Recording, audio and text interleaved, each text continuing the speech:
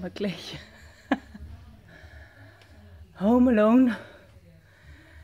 En eh, ik heb een uurtje gesport. Wel lekker hoor. Maar liefst blijf ik even gewoon liggen. maar ik moet mijn buikspieroefeningen nog doen. Dus daar ga ik even mee verder. Maar het voelt wel lekker. Misschien toch wel goed voor me om een beetje bij te sporten. En uh, nou ja, straks er goed uit te zien als de vakantie is. Daar doen we het toch allemaal voor. Beetje goed uitzien. Lekker je bikinietje aan. Nou, dat ligt niet lekker. Uh, staart uh, als knot op je achterhoofd. Nou, ik ga weer even buikspieroefeningen doen. Daar, beentjes omhoog. En dan naar beneden. Huppatee. Oh, gaan we weer voor. Doei doei.